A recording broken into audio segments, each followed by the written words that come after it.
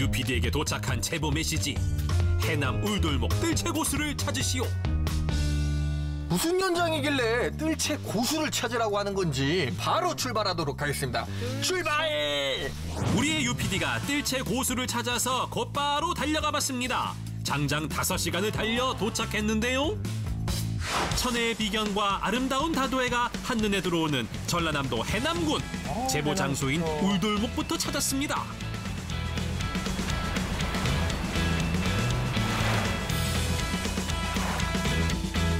울돌목은 물살이 세서 바다가 마치 우는 소리를 내는 듯해 이름 붙여진 해남의 명소입니다.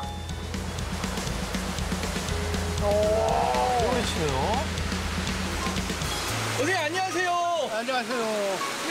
제가 여기 오면 뭐 뜰채 고수가 있다고 해서 왔거든요. 아 여기 뜰채 어디 어디? 네? 여기서요? 아하, 이분들이 뜰채 고수라고요?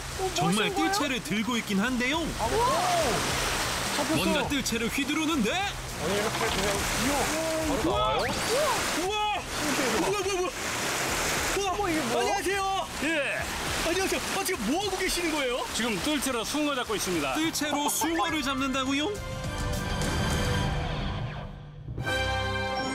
해남 울돌목을 주름 잡는 뜰채 숭어잡이 고수들 등장이요. 이분들 괜히 뜰채 고수가 아닙니다. 뜰채를 들었다 하면 월척이요. 뜰채질 몇 번에 숭어가 한가득입니다. 뜰채만 있으면 되는 거야? 뜰채를 넣었다 하면 팔뚝만한 숭어가 척척 다시 넣었다 하면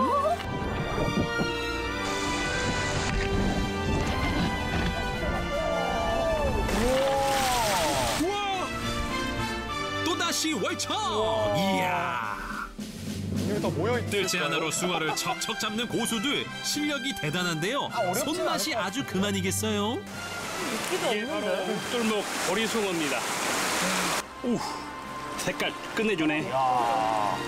요즘이 딱 제철이라는데요 그놈 참 잘생겼네요 아니 근데 왜 이름이 보리숭어인가요? 안녕하세요. 그러네요. 지금 나오는 숭어는 어, 보리숭어라고 그래요. 보리꽃이 펴가지고 익을 때까지 맛있다고 그래서 보리숭어라고 하고요. 눈 노란 숭어는 가숭어라고 그러는데 숭어와 가숭어의 차이는 껍질막과 눈의 색깔로 구분할 수 있습니다. 검푸른 껍질막이 있으면 봄이 제철인 숭어고요. 없으면 겨울이 제철인 가숭어랍니다. 그렇게 한동안 이어진 뜰채 고수들의 숭어잡이 대행진 잡고 에, 또 잡고 이야 정말 쉴 새가 없습니다. 그러네요. 어우. 이렇게 쉬지 않고 계속 잡아내는 게 신기하기만 한데요.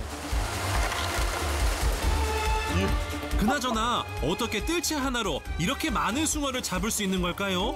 다 이유가 있다고 합니다. 남해에서 서해로 올라가는 오직 길목은 울돌목밖에 없어요. 그러다 보니까 이 좁은 해역, 물살 센 해역을 타고 올라가려다 보면은 가장자로 밀 수밖에 없거든요. 근데 그걸 잡는 거예요. 따뜻한 물을 좋아하는 숭어는 날이 따뜻해지면 남해에서 서해로 이동하는데요. 서해로 이동하는 길목이 바로 이 울돌목인 거지요. 울돌목은 가운데 물살이 가장 세고 빨라 비교적 약한 가장다리로 숭어가 몰리는데요. 이때 물살과 반대로 거슬러 오르는 숭어를 뜰채로 떠내는 것이 뜰채잡이의 원리입니다. 그냥 넣었다 하면 잡히는 줄 알았는데 아니에요? 이런 숨은 비밀이 있었군요.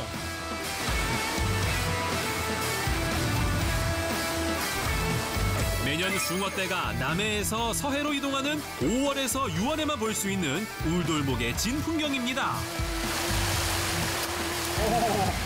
이야, 진짜 구경하는 재미가 쏠쏠한데요. 그러네요. 한번 해보고 싶네요. 와 진짜 뜰채를 넣기만 하면은 숭어가 바로 바로 잡힙니다. 야, 저도 해볼 수 있을 것 같은데요? 쉬워 보여요? 아, 이제 넣으면 잡히는 거 아니에요? 한번 해볼래요? 한번 해볼게요. 우리의 UPD 호기 있게 도전!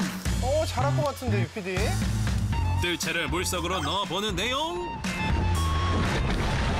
뜰채질을 해보긴 해보는데 어, 왜안 나오죠? 과연? 아하 허탕입니다. 쉽지 않지요 UPD? 좀더 깊숙하게. 어, 쉽지. 않은데요? 그냥 뜰채를 넣어서 젓는다고 해서 그냥 잡히는 게 아니었어요. 똑같은 뜰채건만 고수들은 넣었다 하면 숭어를 척척 잘 이거 붙잡습니다. 어떻게 이야 정말 부럽네요. 아니, 무슨 차일까요? 이야, 잠깐만요. 아니 도대체 이게 한 번에 몇 마리예요? 우와.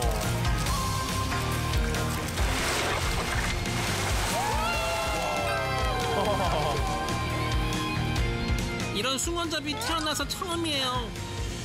우리 눈에 전혀 보이지가 않는데 뭐 금방 달려가시고 보네요. 바닷물에서 튀어오는 것을 그 순간에 포착을 해서 잡는다는 것은 저분들의 어떤 노하우에 완전히 감탄했습니다. 숭어를 포착하는 스피드와 거센 물살에 맞서는 힘까지 겸비해야 하니 여간 쉬운 일이 아닙니다. 물때에 맞춰 숭어가 가장 많이 나는 시간에 막바지 힘을 내보는데요. 우와. 어느덧 자비가 끝날 무렵 진짜 많이 잡혔습니다, 진짜. 와. 그래도 유피디 오늘 고생했으니까 해안살 하러 가야지. 좋겠다. 이야 UPD 고생한 보람이 있는데요. 갓 잡은 숭어를 두툼하게 썰어주는 고수. 울돌목 거센 조류를 거슬러 올라와 더욱 육질이 쫄깃하고 담백한 것이 특징이랍니다. 어머나 벌써 어머 군침 도네요.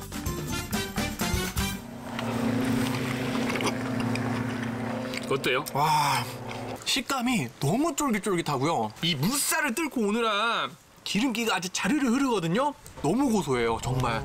와. 임금님한테 진상에 할 그렇게 귀한 어란이 있어요. 실제로 숭어 어라는 과거 임금님의 진상품으로 올릴 만큼 귀했는데요.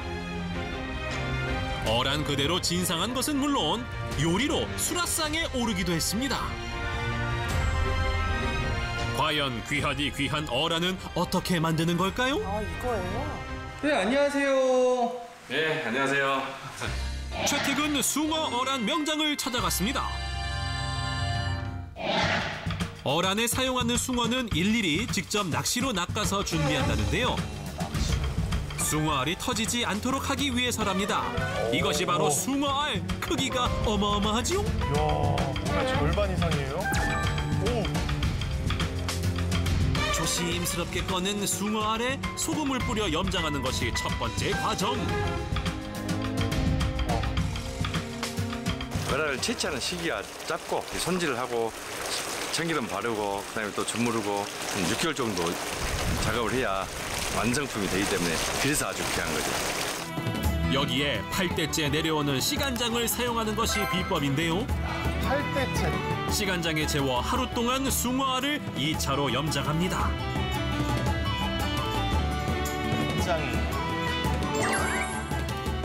그렇게 하루가 지나면 갈색빛이 도는 숭어알로 변신합니다.